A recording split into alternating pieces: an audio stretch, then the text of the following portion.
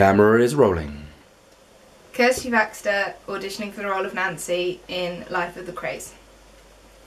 Rise of the Krays, even. Twice in one week. I wasn't expecting to hear from you again so soon. Yeah, I appreciate you coming back. I nearly didn't. I know.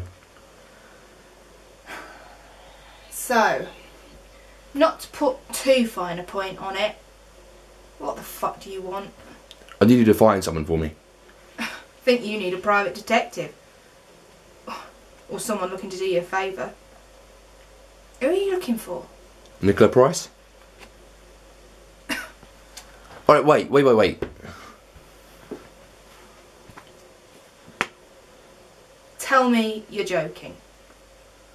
You want me to find the whore you turned to when the going with my sister got too rough for you? Is there no one else you could entrust this little errand to? Come on, it's important, alright? So, So I trust you?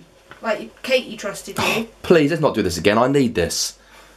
Where else should I look? The back alleys of Soho? Just ask around the usual places for nicey pricey. Someone will have seen her.